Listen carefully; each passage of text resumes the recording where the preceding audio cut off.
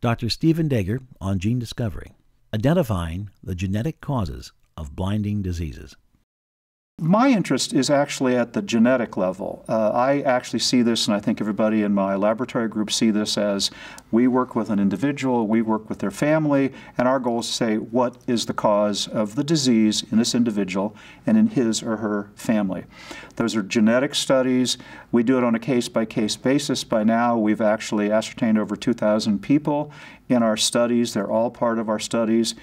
Uh, we had methods in the 1980s which allowed us to look at DNA, the source code for genetics. Uh, say to be able to do a couple hundred uh, base pairs a day, we can now do a couple hundred million base pairs a day. So the increase in technology is astonishing and borders on the incomprehensible. I think candidly, if I had been told in 1985 that in 2012 we could do 100 million nucleotides or more in a day, we could do a full genome in two days, I would say that was centuries off. Well, well, I was wrong about that, and in fact, these incredibly powerful techniques are now available to all of us to solve the problems on a family by family basis of the cause of the disease. My research, taken at the simplest level, is to say here is the cause of disease in this particular individual. Then the question becomes what's going to be done about that? And one of the great pleasures of our research now in the last four or five years is we can go to individuals in which we've identified the underlying cause and say, well, here's a potential treatment. There's potential treatments for Stargardt disease. There's potential treatments for Leber congenital amaurosis.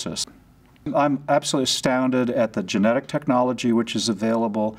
I'm astounded at how far we've come in understanding how human biology works. But I have to say candidly, I think all of us were shocked at how complex these diseases turned out to be.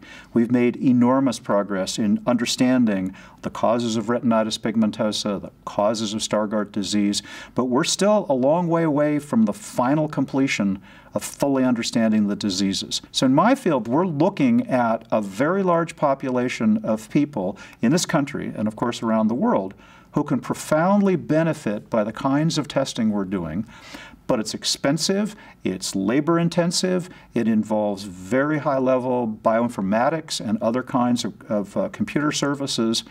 And to make that so it's not just available for the hundreds or thousands, but in fact the tens of thousands and the hundred thousands is really the goal of not only my laboratory and other laboratories, but a very fundamental goal of the Foundation Fighting Blindness.